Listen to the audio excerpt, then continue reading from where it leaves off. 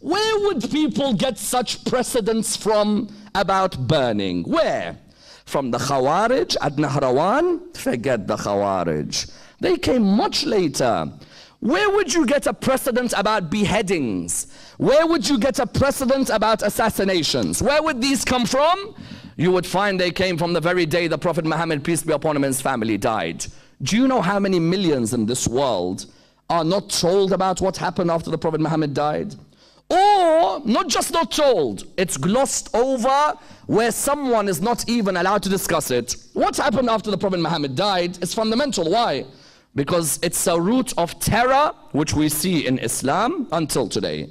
Firstly, the ruling authority, the caliph of the time, decides what? The caliph of the time decides that he's going to send out his henchmen.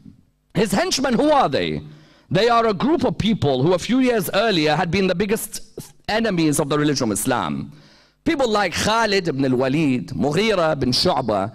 These originally were thugs who were enemies of this religion. They had a hatred for the Prophet, peace be upon him, and his family.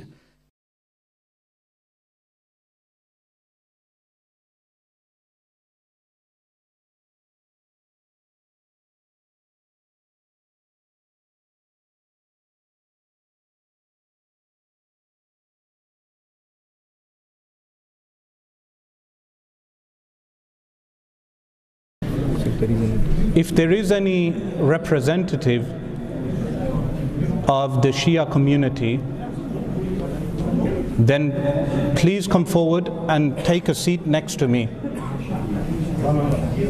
If there is any representative, please come forward and be seated on my left hand side.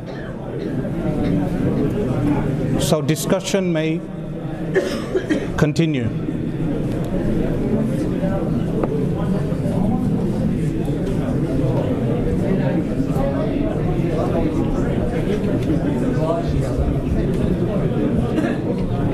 Can everybody take a seat, please? Can everybody take a seat? Jazakallah. Brothers, Usman, I can't help. I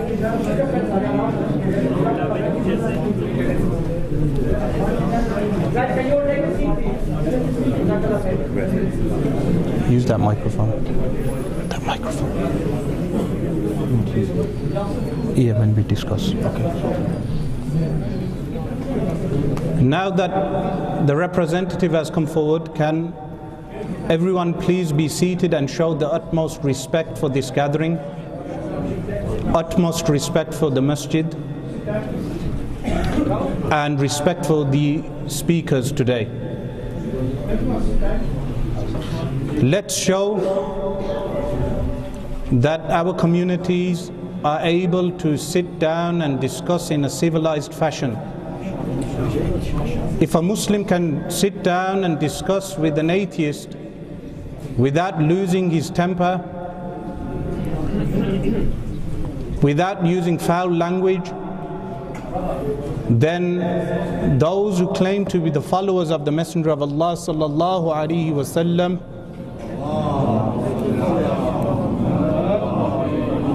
should be able to sit down and discuss in a polite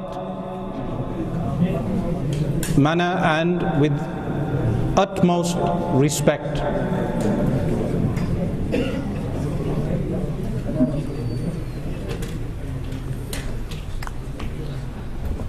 We have a representative from the Shia community with us. The brother will be using this microphone on his left hand side. Do you need a, Some water, please, yes, Yeah. if you don't mind. I'll ask you. No, but no.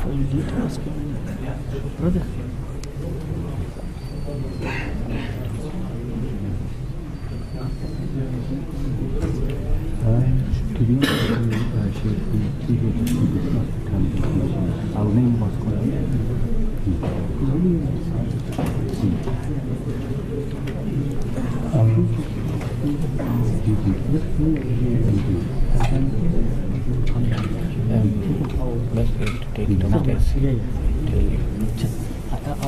Do you need me to come? Uh, no, you wait. No.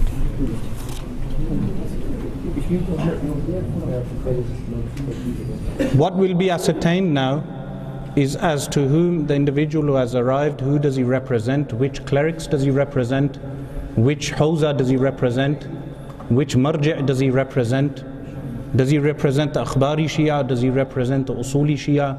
These things will be determined because if he does not represent any hawza or any clerics, because he has come to discuss conditions for the debate, then he will be dismissed. But if he has come representing an actual hawza and a recognized institution like the Khoei Foundation or the Mahdi Foundation and other Shia foundations and institutions within the UK or anywhere else, then the discussions regarding uh, the conditions of the debate will continue. A few points regarding today's uh, gathering is regarding slogans. We do not want either Sunni or Shia to use any slogans. We know in the Sunni community we use the slogan Takbir, Risalat, and Haydari. So those Shia who are unfamiliar of this should know that saying Haydari here is not strange for us. In our masajid, they do use Nare Haydari, as can be seen in the Pakistani army that they use Nare Haydari, uh, an army which is mainly composed of Sunnis. So, from both sides, we do not want slogans. This is not a gathering for slogans, and at the same time, we do not want anyone to insult or use bad language to any side. Also, there is a security presence, there is a police officer here. If people want to identify the police officer, they can ask for the identification of the police officer from the security team here. They will identify that police officer for you. So, if there is any illegal act within the premises, uh, the people performing that act, it would not be looked at as to whether they are Shia, Sunni or Shia or Muslim or non Muslim. They will be arrested. We know with regard to the background of this debate challenge, some people, Sunnis and Shia, may ask, What is the purpose? I would like to say that from our perspective, in our Sunni hadith collections, what has been mentioned is that the Messenger of Allah sallallahu alaihi wasallam said, إذا ظهرت البدع وسب أصحابي فليظهر العالم علمه Al-Khatib al-Baghdadi narrates this hadith that when innovations appear and my companions are insulted, then the scholar or the one who has knowledge must reveal his knowledge. So the purpose is not to convert Shia to Sunni. The purpose is not to convert to proselytize Sunnism. The purpose is idharul ilm, to show the knowledge that we have regarding these issues which have been disputed for hundreds of years. So, the purpose of today's gathering is in order to show our side of the aqidah and belief and as to what we believe regarding the Alul Bayt, alayhimus salam, what we believe regarding the companions, alayhim ridwan. Also, what started this issue is the speech of Dr. Ammar Naqshawani from London, who was initially challenged to debate but has not responded regarding that challenge and is not present here today. But it has been brought to our attention that Dr. Ammar and Yasir al Habib do not represent many Shia institutions and academia. They do not represent some of the maraji of Qum and the scholars of the Shia in Iran and other places. So therefore, we would not make ad hominem attacks on all the Shia individuals or all the Shia clerics. But those clerics who were contacted within Birmingham mentioned to us specifically from uh, the Imam Bara on Clifton Road and the Imam Bara in Heath, the Imams of those places did mention to us that they are against debating and they are against the actions of Dr. Ammar. So someone may ask, why do we want to debate those individuals or why have we challenged the Shia community? In response to this, I say, like I said to some journalists who contacted me also, that if the Shia community in large is against the insulting, open insulting of the Shaykhain, Shaykhain meaning Sayyiduna Abu Bakr Siddiq and Sayyiduna Umar radiallahu anhuma and the wife of the Messenger of Allah sallallahu alayhi and other companions whom the Sunni community respect and hold in esteem, high esteem, then the Shia institutions have a responsibility to make, uh, declare their official opposition within the UK condemning Dr. Ammar, condemning Yasser al-Habib. If it is said that they have already done this, then it, from the recent speech of Dr. Ammar, this has not been made very clear to us. So, from our perspective, this has not been made very clear. So, therefore, the, the debate challenge remains. Now, what does this dispute stem from, and what do we look at in terms of this um, dispute between the Sunni and the Shia? And I do not think, I do not think in the history of the UK there has been a gathering like this. Is that not true? In the history of the UK or the Muslim community in the Western world, there has not been a gathering like this where we are openly discussing these issues. That if we look at the history of both groups, both groups have a different narrative regarding the history of the companions alayhim ridwan. The Shia narrative regarding the Alul Bayt alayhim salam and the companions alayhim ridwan is different to the narrative of Ahl Sunnati wal Jama'ah. This narrative starts from Al Imamatul Kubra, the appointment of Sayyiduna Ali Karamallahu Wajhahul Kareem as Al Khalifatu Bila Fasl according to the Shia, which means the representative of the Messenger of Allah sallallahu alaihi wasallam, his deputy after the Messenger of Allah sallallahu alaihi wasallam, bila fasl meaning without a gap. This is the claim of the Shia community. Ahl Sunnati wal Jama'ah say the Messenger of Allah sallallahu alaihi wasallam did not appoint any Khalifa bila fasl. This is the foundational dispute. And what we call al imama, the concept of there being 12 imams, 12 imams, each one succeeding the other, from Sayyiduna Ali karamallahu wajhul kareem to Sayyiduna al Imam al Hasan to Sayyiduna al Imam al Hussein radiyallahu anhuma, from, from Sayyiduna al Imam al Hussein to Sayyiduna Zainul Abidin.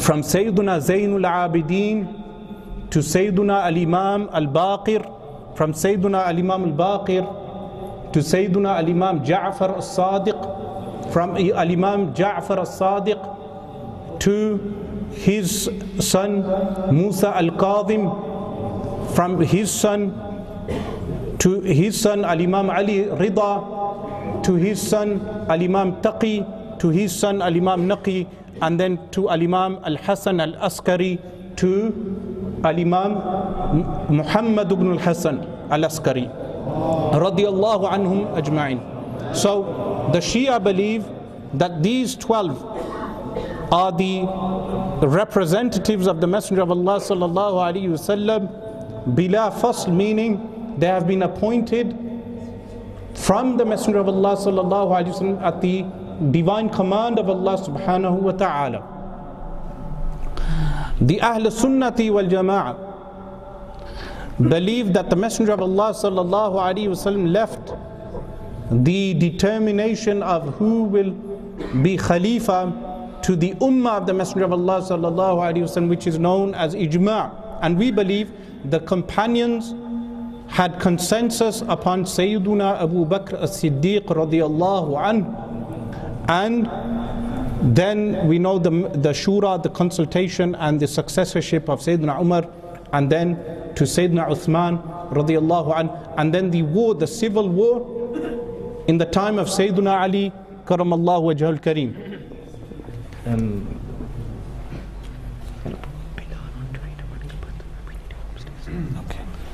we will have a, a, a short break with the manqabat. I will be going up to discuss with the individual who has arrived. And then once finishing our discussion, we request everyone to remain seated.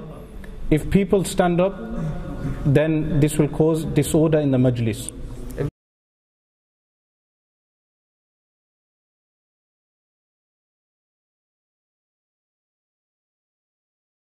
Bismillah ar-Rahman ar-Rahim. Just to announce that our meeting has come to a positive conclusion. A debate will go ahead between both groups. Um, they have told us the details of the the scholar on their side who will who has been chosen. The details will remain private for now, but there is a person who is representing the Shia community, and they have also given us the conditions of the debate. I have the conditions in my hand. Also, we have selected we have selected representatives from both sides for communication because one of the main problems was a lack of communication that people were using social media in order to communicate but now we have direct communication with the representatives of the Shia community and those two representatives private representatives will discuss those conditions and a debate will be held in the future uh, with a venue and a time and the recording of that debate will also be released. The subject will be discussed as well as all other extraneous factors involved in the debate. This is the announcement that I have promised to make, and I would request the Shia uh, uh, sitting in the audience now to leave with uh, the person who came to represent them in order that we may continue with our gathering. And we have announced this fairly, and in the future we will announce the, the debate also. Jazakumullahu khairan. I will continue with my speech in a short while. I would want to also mention that the Shia cleric Allahyari, he, his representative, is also present here, but we refuse to talk to him rather than hiding these facts. I would want to mention in public, we refuse to talk to him because we already have a UK based cleric who has come forward for the challenge. So Allahyari, you will be dismissed because you are an Akhbari Shia as well. You do not represent the majority of Shia. And the, the, the specific Shia cleric who has come forward is an Usuli Shia who represents the majority of Shia and is UK based. So therefore the debate will, the priority is given to the UK based uh, Shia cleric who wants to debate face to face as opposed to privately. From the way the gathering has been conducted, we know that the lie that was spread that they, this meeting will cause bloodshed on the streets of Birmingham, violence and chaos. We know that whoever placed that rumor on social media is responsible. Bismillah ar-Rahman ar-Rahim. I was mentioning that both groups have a different narrative of the historical events of what took place and generally speaking some of the Ahl Sunnati wal Jama'ah unfamiliar of the books of the uh, Shia sect when it comes to familiarizing ourselves with the with the books of the Shia, we must know that they have a book, the books known as Al Usul al Arba'a, the four principal books which were compiled in the 4th century of Islam in the 300s. These books in, include the books of Al Kafi, uh, Al Kafi by Muhammad bin Yaqub al Kulaini. And there are other books like Man La Yahduruhu al Faqihu and Tahdhib al Ahkam and Al Istibsar. These four are the foundational books of the Shia sect. In the Ahl Sunnati wal Jama'ah, we have the Siha Sitta. The title Siha Sitta, however, does not mean that all the ahadith within the Siha Sitta are authentic. This is commonly misunderstood by the Shia that they say that your six books, Siha Sitta, are all authentic.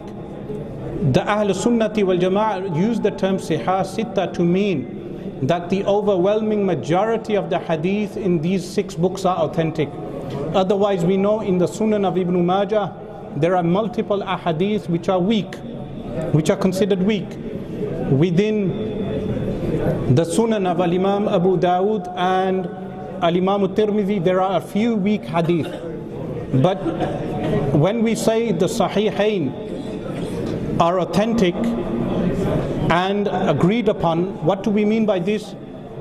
What we mean by this is that the Rijal of the Sahihain, meaning the narrators of the two books of Hadith, Bukhari and Muslim, all the narrators are authentic narrators, but this does not mean from time to time there are a few sentences which they may make mistakes. Example, in the Sahih of Imam Muslim, Hamad bin Salama narrates from Thabit al-Bunani, from Sayyiduna Anas bin Malik radiallahu anhu, that the Messenger of Allah sallallahu alaihi wasallam said, Inna abi wa abaka finnar. Surely my father and your father are in the hellfire.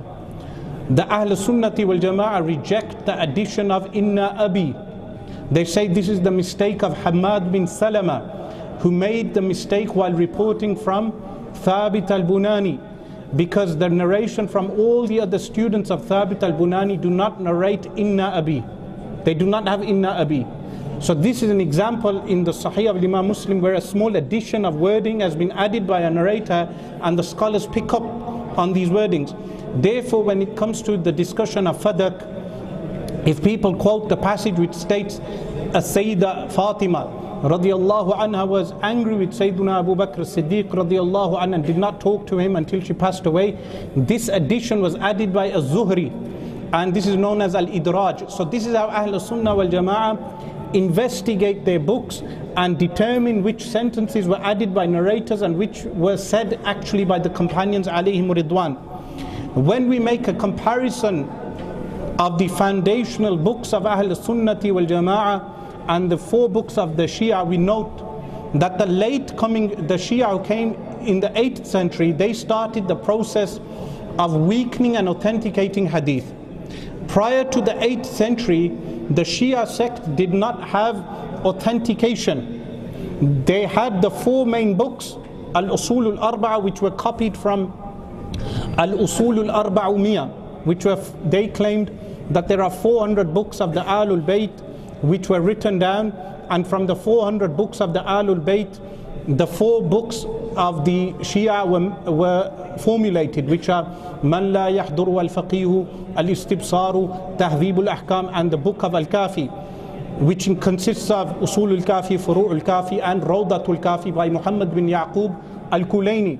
These four books were not authenticated until the 800. Now, surprisingly, until Abu al-Abbas Ahmad bin Taymiyyah wrote a refutation of the leading Shia scholar of that time in his book Minhaj Sunnah.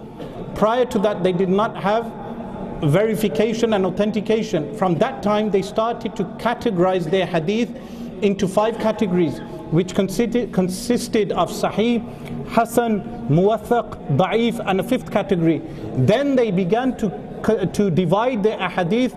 They ended up declaring over, four, uh, over 9,000 hadith in Usul al-Kafi as being weak. Now Usul al-Kafi consists of over 16,000 hadith. So from 16,000 hadith they declared 9,000 as being weak.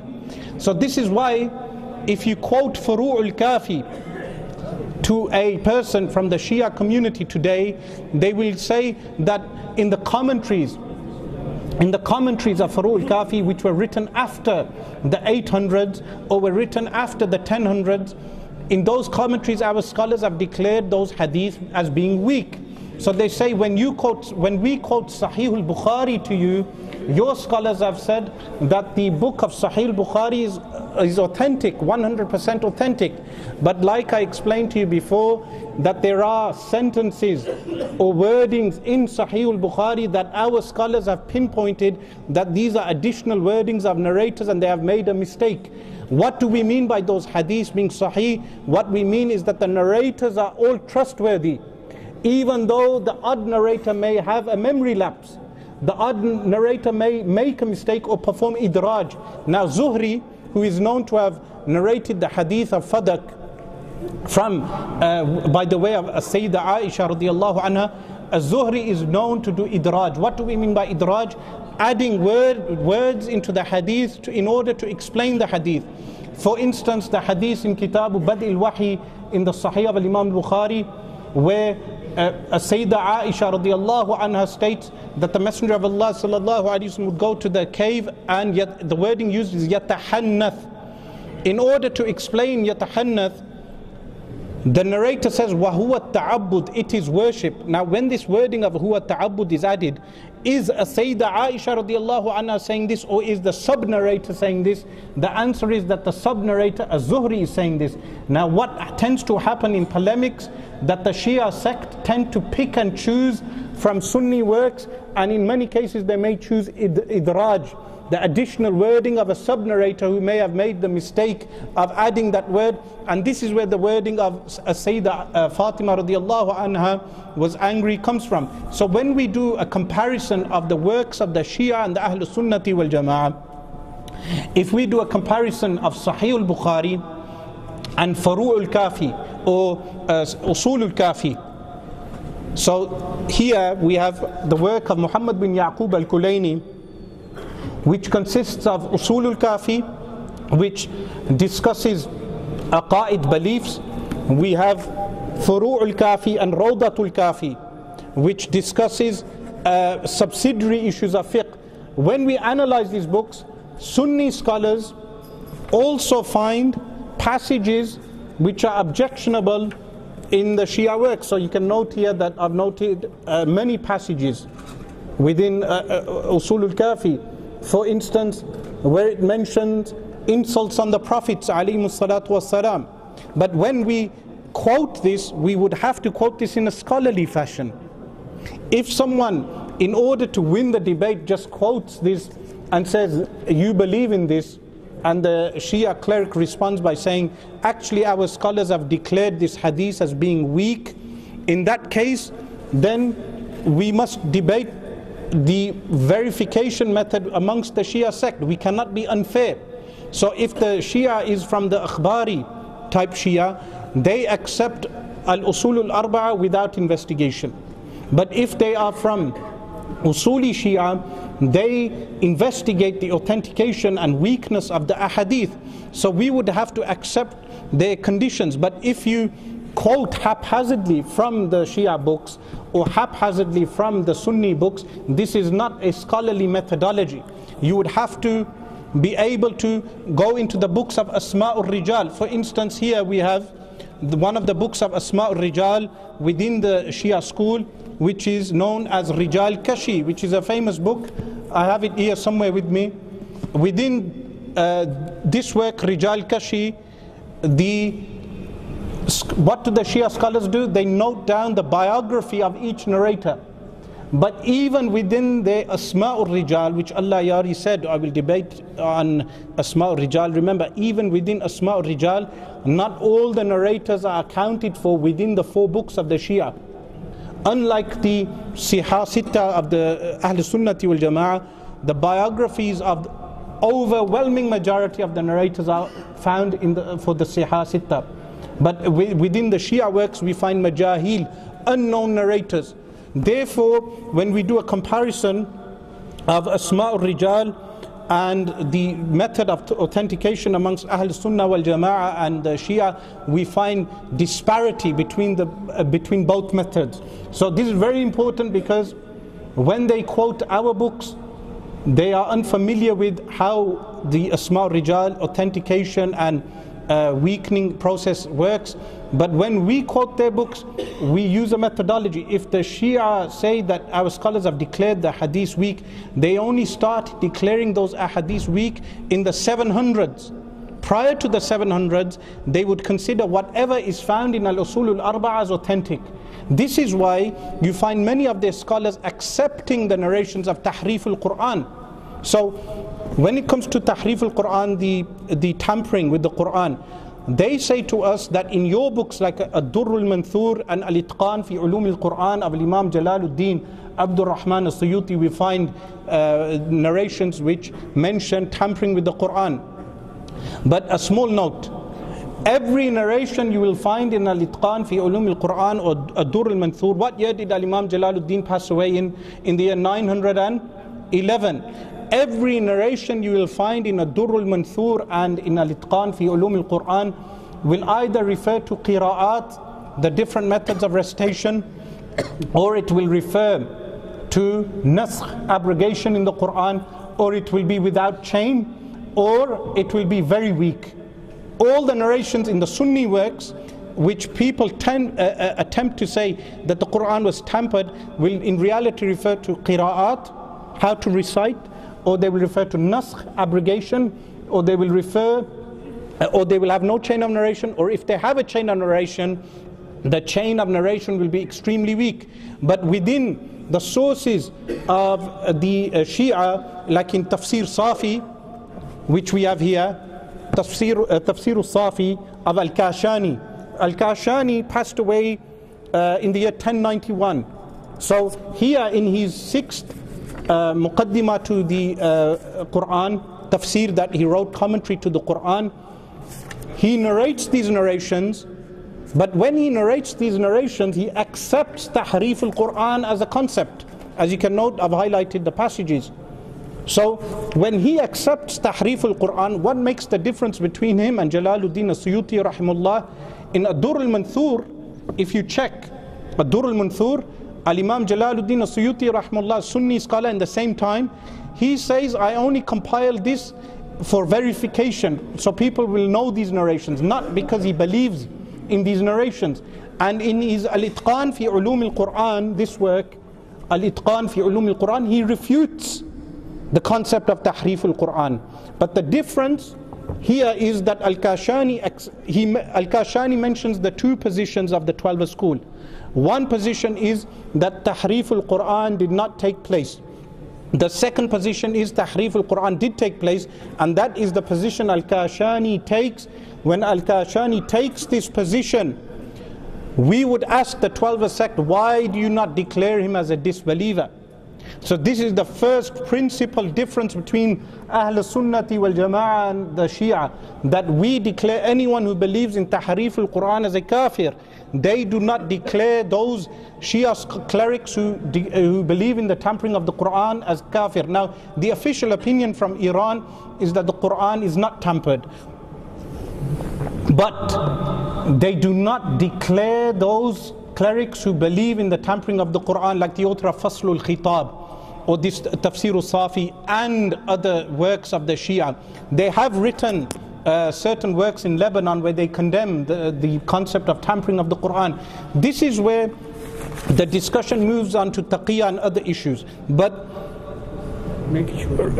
there, there is a one final point which a, a few two three points which we would want to mention is number one which that when the Shia tend to mention the definition of a Sahabi some of the laymen tend to think that the Ahl Sunnati wal Jama'ah believe the Sahaba are ma'soom Sahaba are free from sin this is not the position of Ahl Sunnati wal Jama'ah the position of Ahl Sunnati wal Jama'ah is all the companions are udul, which means upright. What does this mean?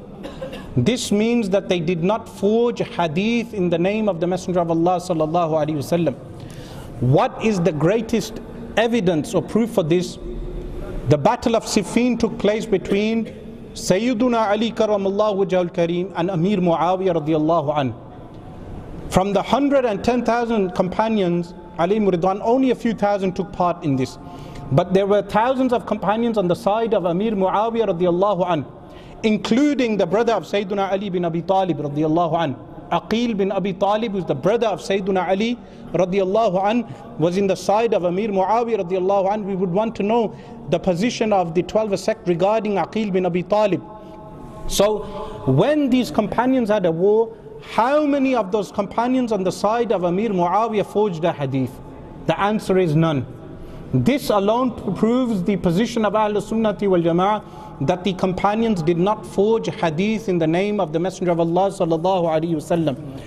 One final point, the final point of today's discussion is regarding al-imamatul kubra that the main dispute between Ahl Sunnati wal Jama'ah and the Shia sect is that they believe that Sayyiduna Ali radiallahu an being the successor of the Messenger of Allah sallallahu wasallam is mansus min Allah, which means stipulated by Allah Almighty. Ahl Sunnati wal Jama'ah deny this. Based on this foundational dispute, all the other disputes come out. Like Al Isma, they believe the 12 Imams, the 12 Imams are all free from sin, meaning they cannot sin. And, and they mention Ayatul Tathir, even though Ayatul Tathir is regarding the wives also, but that's a part of the discussion. So they say they are all free from sin. But based on this, they also end up condemning other Imams of the Ahlul Bayt. For instance, we Ahl Sunnati wal Jama'ah love Al Imam Zayd bin Ali, radiallahu an, the, the brother of Al Imam Baqir. But the Shia sect, the 12 sect, unfortunately do not have kind words to say regarding Al Imam Zayd. We love Al Imam al Baqir radiallahu an. We love Al Imam Zayd. We love Abd- Abdullah al Mahad. Who is Abdullah al Mahad? Abdullah al Mahad radiallahu an is the first Sayyid to have Hassani and Husseini lineage. Abdullah al Mahad. He had a son called An Nafsu Zakiya who was martyred by the Abbasis. We love them also. We love Al Imam Abdul Qadir al Jilani radiallahu an. So Ahl Sunnati wal Jama'ah love all of these, but they say you have denied their love by denying Al Imama. Because you deny Al Imama and you deny Isma, you are also from the enemies of the Ahlul Bayt. This leads to their belief in Al Bada. I will quickly go through this list. Al Bada. Al Bada. What is the concept of Al Bada? That when Al Imam Ja'far as-Sadiq radiallahu an had a son called Ismail, he declared Ismail radiallahu an as the Imam after him. Ismail radiallahu an passed away. After he passed away, the Shia went, the Shia at that time went to Al Imam Ja'far Sadiq. This is according to their books. And they said, You declared Ismail as the Imam. Who is the Imam after you? And then he said, Musa al Kadhim is the Imam. It appeared for Allah as such, meaning this is Aqidatul Bada that Allah subhanahu wa ta'ala gives a judgment and then something appears for him to give the judgment contrary to the previous position. This concept in Shiaism is known as al-bada and is found in their works uh, like al-kafi. So this is a second principal uh, dispute amongst Ahl Sunnati wal Jama'ah. A third principal dispute is at-taqiyya. Why do they do at-taqiyya? Because of the danger that the Shia sect faced. They believe that at-taqiyya, within their books Al-Kafi, it is mentioned that taqiyya is nine-tenths of faith, meaning to protect yourself. So this is another foundational uh, difference between Ahl Sunnati wal Jama'ah. A, fourth main uh, contention is mata'inu sahaba, that they attack the companions alayhim ridwan. You see, Ammar Naqshawani may have mentioned the uh, what uh, attempted to disparage the Shaykhain, but the real contention is that they believe that the companions Ali Ridwan performed kufr, disbelief, when they rejected the imama of Sayyidina Ali radiallahu an. So according to the, the Shia, if they mention fadak or they mention the, uh, the incident which we believe is a fabrication of uh, Sayyidina Umar radiallahu anh attacking the house, waliyadu billah of Sayyidah Fatima radiallahu anha, if they quote these fabrications and we can prove from their own books that they are fabrications, like in Al-Ihtijaj, we do not have time to quote this. I was going to quote this if there was a debate today, but this issue of attacking the Sahaba Ali Ridwan stems from the fact that they believe the companions committed disbelief from denying the Imam of Sayyidina Ali radiallahu anh. But Ahl Sunnah wal Jama'ah will say that none of these, the incident of breaking the door or burning the house didn't, did not take place they are, they are all forgeries. And that Sayyidina Ali radiallahu anh actually gave bay'ah, allegiance to Sayyidina Abu Bakr Siddiq and was his, uh, he was the one who would advise Sayyidina Abu Bakr Siddiq radiallahu anh. So mata'in ala alil bayt that they also attack alul bayt how do they attack alul bayt what do they think of abdullah bin abbas radiallahu anhuma? What do they think of zayd bin ali radiallahu an? What do they think of aqil bin abi uh, aqil bin abi talib the son of abu talib? What and some shia tend to think that all sunnis believe abu talib was a disbeliever. Remember uh, ahmad bin zaini dahlan the mufti of Makkah al-Mukarramah during the Ottoman rule, he gave a fatwa that Abu Talib was a Muslim. So this is not an agreed upon opinion of Ahl Sunnati wal Jama'ah. Then number five, and the final point, is their disputes regarding furu' fiqhiyah. All the fiqh disputes they have go back to al-imama. For instance, they believe mut'a with women is permissible. Why did they say this? Because Sayyidina Umar was the one who enforced the prohibition of mut'ah. We, we believe the Prophet ﷺ forbade mut'ah. The instruction was enforced by Sayyidina Umar radiallahu anh. But to contravene Sayyidina Umar radiallahu anh, they, they allow mut'ah. Or aklul himar, eating of donkey, domestic donkey meat. Or al-jima' fi dubar, which is uh, we cannot translate that here, but they uh, allow that action also. So these, this is a quick summary of uh, the background to the Shia sect. One point is in Rijal Kashi, in Rijal Kashi, this book of Asma Rijal, which I found now, the, in this Abdullah bin Saba, Abdullah bin Saba, the founder of uh, Shiaism, is mentioned as a real individual. So the Shia uh, people who are going to listen to this, have a check in Rijal Kashi. You will find that Abdullah bin Saba is a, a real individual. May Allah subhanahu wa ta'ala enable us to continue with the debate in a peaceful method. أقول قولي هذا واستغفر الله لي ولكم وأتوب إليه Final words I would like to thank the following individuals I would like to thank Maulana Ijaz Ahmed for making this event possible he does many things behind the scenes which people are unaware of he did so during the debate with Abdul Rahman Hassan also and he was the main person involved in organizing this event I would like to uh, uh, thank our brother uh, Maulana Hafiz Saeed Makki the son of Maulana Ghulam Rasul Chakswari rahimahullah ta'ala for allowing this event in this center and for other uh, consultations which uh, not everything can be mentioned here. And I would like to thank brother Nuri from Slough who provided so many uh, so much material and so many books to me in order that I may have uh, much of the books. Remember uh, just a message to the Shia I have your books so I will be quoting your books in the debate. And we conclude this mehfil, uh, this gathering with dua from someone from the Ahlul Bayt, from the family of the Prophet sallallahu alaihi wasallam. اللهم صل على سيدنا محمد وعلى ال سيدنا محمد وبارك وسلم اللهم صل وسلم على سيدنا محمد صلاة تنجينا بها من جميع الاحوال والافات وتقضي لنا بها جميع الحاجات وترفعنا بها عندك على الدرجات وتبلغنا بها اقصى الغايات من جميع الخيرات في الحياة وبعد الممات. إنك على كل شيء قدير. یا رب العالمین آج کی یہ حاضری، آج کی محفل اپنے حضور منظور منظور قبول فرما. آج حاج کی آپ کی پہچان کے لیے، آپ کو دوسروں تک پہنچانے کے لیے، سچائی کو دوسروں تک پہنچانے کے لیے، یہاں اس مسجد کے اندر گیا بنایا گیا۔ جتنے بھی احباب آئے ہیں اللہ باغ سب گانا قبول فرما۔ ہمارے شیخ اسرار رشید صاحب کو اللہ دین کے اندر مزید استقامت کامیابیاں اور کامرانیاں عطا فرما۔ ہر مقام پر جہاں بھی حق کو لے کے جائیں حق کے لیے جائیں وہاں فتح اور نصرت عطا فرما۔ جہاں بھی حق کے لیے جائیں حق کو پہنچانے کے لیے حق کی پہچان کے لیے جہاں بھی جائیں اللہ انہیں فتح اور نصرت اور کامیابیاں عطا فرما۔ اور دین کی سربلندی کے لیے انہیں کوششیں اور کاپشیں مزید کرنے کی توفیق عطا فرما۔ ان کی جوانی میں علم میں عمر میں برکتیں رحمتیں مسجدیں عطا فرما۔ مولانا غلام رسول صاحب جنہوں نے اس مسجد کو بنایا اللہ ان کو جوار رحمت میں جگہ عطا فرما۔ ان کی قبر کو سلامت اور روشن اور منور فرما۔ ان کے بیٹے جو اس ادارے کو چلا رہے ہیں صحیح صاحب اور ان کے بھائی اللہ نے استحکام و سلامتی عطا فرما۔ دیگر جتنے بھی احباب یہاں اس محفل میں آئے اللہ ان سب کرم و فضل فرما۔